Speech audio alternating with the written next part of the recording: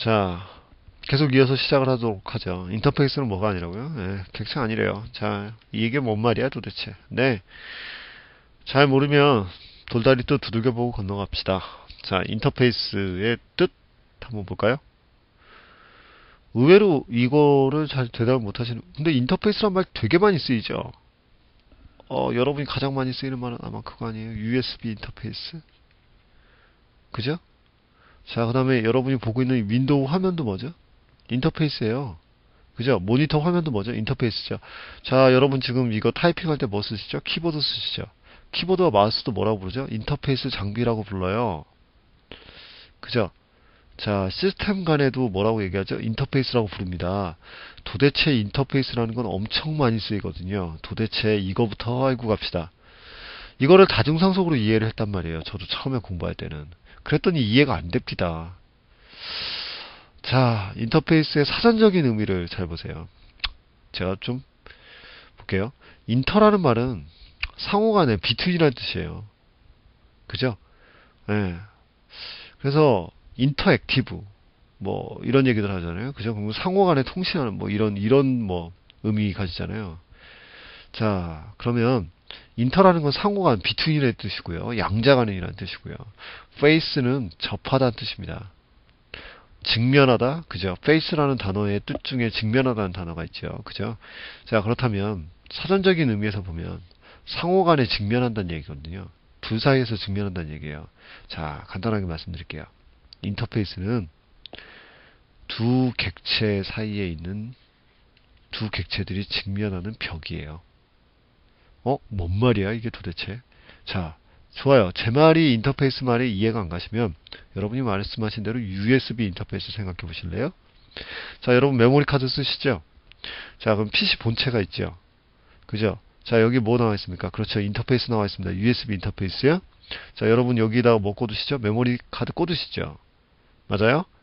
자, 그럼 봅시다. 이거 뭐죠? 본체와 뭐 사이에? 메모리 카드 사이에 인터페이스가 뭐라는 거죠? USB 방식이라는 거죠. 이해되셨습니까? 자, 두 번째 볼까요? 자, 여러분 컴퓨터 쓰시죠? 자, 그럼 운영체제가 있죠. 그죠? 자, 운영체제에서 뭘 띄워줍니까? 화면을 띄워주죠. 결국엔 운영체제가 띄워주는 거 아닙니까? 그래픽 카드가 띄워주나요? 아, 그래픽 카드도 있죠. 뭐, 드라이버라는 그 인터페이스가 있죠. 그죠? 자, 이거 봅시다. 자, 근데 여기에 화면에 떠 있죠. 모니터 화면에 떠 있습니다. 자, 그럼 봅시다. 사람은 여기 있거든요. 자, 객체와 객체 사이에 놓여 있는 게 인터페이스죠. 됐습니까? 네, 인터페이스는 의미 자체는 동일해요. 자바에서는. 의미 자체가 완벽하게 동일합니다. 하지만 사용법이나 설계 방식은 좀 다르겠죠. 자, 잊지 마세요. 인터페이스는 서로 마주본다는 뜻이에요. 자, 제가 그 앞쪽에서 음, 필터에 대한 얘기를 살짝 드린 적이 있습니다. 필터에 대한 얘기를 접근 제한 자랑 드린 적이 있어요. 어, 외부에서 접근할 수 있는 변수 없, 그 다음 변수, 이제 접근 못하는 변수. 자, 뭐가 전부 다 일치해야 되죠? 클래스 이름과 패키지 명 같은 게 다 일치해야지만 접근할 수 있는 변수를 private이라고 얘기하죠. 필드라고요. 필드. 자, 봅시다. 인터페이스는 뭐죠? 상호간에 마주본다고 그랬죠. 그러면 얘가 클래스 이름이랑 이거 다 맞춰야지만 마주 볼 수 있으면 상호간에 마주 볼 수 있겠습니까? 못 마주 본다고요. 다시요.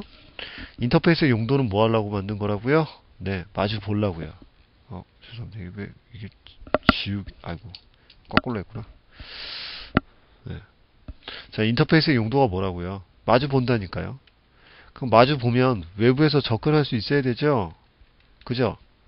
당연한 얘기잖아요. 제발 외우지 좀 맙시다.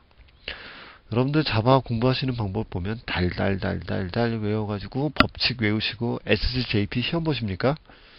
그래가지고 공부들 하시는데 좀 그렇게 하지 마시고요. 좀 한번 납득을 한번 해보자고요. 인터페이스 요걸로 한번 생각해 보자고요. 자, 마주 본다라는 개념으로 생각해 봅시다. 마주 본다라는 개념으로 생각하시면요. 얘가 private이면 인터페이스 안에 변수나 method를 선언하게 될 텐데 그게 뭐면 안 되겠습니까? private이면 안 되겠죠. 왜요? 외부에서 안 보이면 안 되잖아요. 그죠? 네, 맞아요. 그래서 인터페이스 안에는 뭐로 선언할 수가 없냐면 private으로 선언하실 수가 없어요. 한번 보여드리죠. 자, 이거 하나 볼까요?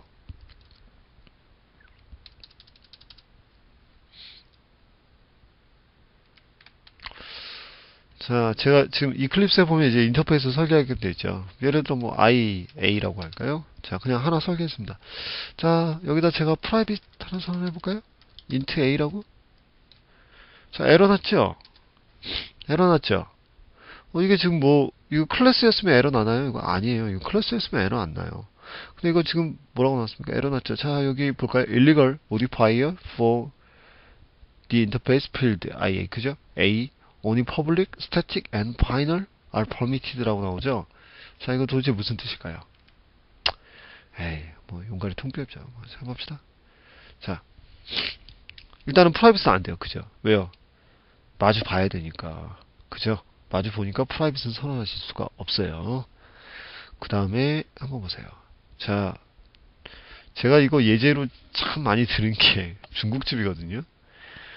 어, 중국집이 상속이라든가 다양성 설명하는데 정말 좋다고 생각해요. 개인적으로. 자, 근데 이거 한번 보실래요? 중국집도 인터페이스가 있어요. 자, 주인 아주머니와 주방장님 사이에 인터페이스가 있습니다. 자, 여, 기도 얘기하죠. 아, 짬 하나. 그죠? 자, 뭐죠? 짬뽕 하나. 그죠? 그러면 여기 뭐예요? 짜 하나. 그죠? 그러면 짬뽕, 짜장면 하나. 이렇게 전달이 되는 거죠. 자, 그럼 여기 서로 간에 짬이라는 단어가 뭘 의미하고 짜라는 단어가 뭘 의미하는지 알거든요. 이쪽 인터페이스. 자, 그럼 한번 봅시다. 어느 날 주방장이 마음에 안 들어요. 이씨 맨날 왜 짬이라고 그러면 내가 짬뽕만 만들어야 돼. 이런 그런 게 어딨어. 나 짜장 만들 거야. 자, 싸움 나죠. 네, 주인 아주머니가 와서 그러겠죠. 월급 받기 싫냐? 나갈래? 그죠? 이렇게 얘기하시겠죠. 자, 마, 마찬가지예요. 인터페이스 안에 정의되는 method는요. 인터페이스 안에 정의되는 변수나 method를 생각해 보세요. 특히 변수를 생각해 보실래요? 짬, 짜라는 건요. 서로 간의 약속이에요. 이 약속을 한쪽에서 일방적으로 바꾸면 됩니까? 안 됩니까? 안 돼요. 그렇다면, 그렇다면, 얘는 어떻게 접근할까요? 바꿀 수 없게 설계가 돼야 돼요. 자, 한 번 메모리 값이 할당이 되면 바꿀 수 없는 변수는 final이에요. 그죠? 됐습니까? 자, 그럼 final이 왜 나온지 이해됐죠? 자, 그 다음에, 자, 여기 봅시다. 얘가 객체라고 그랬습니까, 제가? 절대 객체 아니라고 그랬죠. 얘는 스펙이라고 그랬죠. 자, 그럼 객체로 안 만들고 접근할 수 있는 건? 그렇죠. static 변수요. 그죠? 자, 보시죠. 자, 이거 보세요. 재밌는 거 보여드릴게요. 재밌는 거 보여드릴게요. 자, 파이, private이 안 된다고 그러죠. 왜요? 외부에서 공개가 안 되니까. 자, 이거 보세요. 지금 디폴트 접근 제한자도 안 되죠. 그죠? 그죠?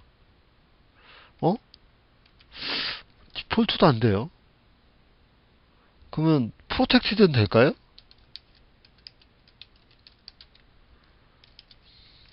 어? protected도 안 돼요. 그죠? only 뭐밖에 안 되네요. public 어 밖에 안 되네요. 됐습니까? 네.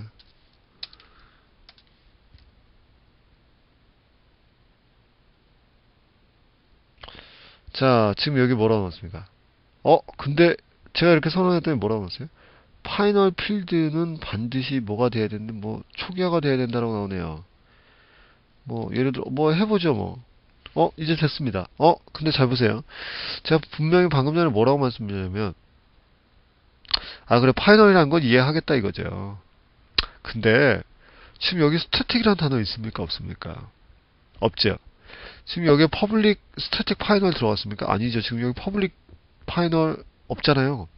public이라는 단어밖에 없죠. 자 여기 보시죠. 자 지금 이게 다른 코드를 하나 만들죠.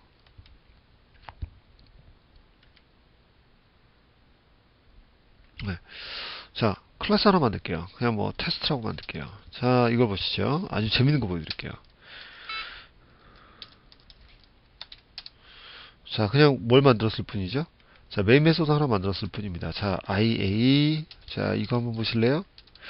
여러분 그 static은 어떻게 접근하는지 아시죠? 객체 리모컨으로 접근하는 게 아니라 클래스 안에 선언되는 변수. 어, 이거 보시죠. 이거 선언 가능하죠?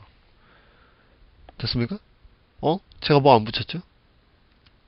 뭐 안 붙였죠? static 안 붙였죠. final 안 붙였죠. 근데 선언 가능하죠. 자, 파이널은 뭐 하죠? 일단 할당이 되면 뭘 못해요. 바꾸는 거 안 되는 거잖아요. 이렇게 해야 되나요? 됐죠? 자, 에러 났죠? 에러 났죠? 자, 뭐라고 나옵니까? The final field ia.a cannot be assigned라고 나오죠? 자, 그럼 이거 도대체 뭘 의미하는 거예요? 이봐, 다시요. 제일 중요한 의미입니다. 자, 인터페이스는 뭐라고 그랬죠? 인터페이스는 마주보는 애예요. 마주보는 애니까 거기에 선언되는 변수를 한쪽에서 일방적으로 바꿔도 안 되고요. 마주보는 애인데 얘는 뭔 아니에요. 객체는 아니에요. 그러니까 접근하는 방식은 마치 뭐처럼 접근하겠습니까? 네, 네. static 변수처럼 접근한다고요. 자, 상수라고요. 상수 그냥. 아시겠어요? 인터페이스에 선언되는 변수는 뭐로 선언될 수 없다. private이라든가 이런 걸로 선언될 수 없어요. 왜? 외부에서 서로 마주봐야 되니까 무조건 public으로 선언됩니다. 자, 그 다음에 이 안에 선언되는 변수는 뭐다? 상수다. 왜? 마주 보는 거니까 한쪽에서 바꿀 수 없게끔 하기 위해서 자동으로 뭐가 붙는다? 퍼블릭 스태틱 파이널로 처리가 된다. 생각하시면 되겠습니다. 오케이? 자,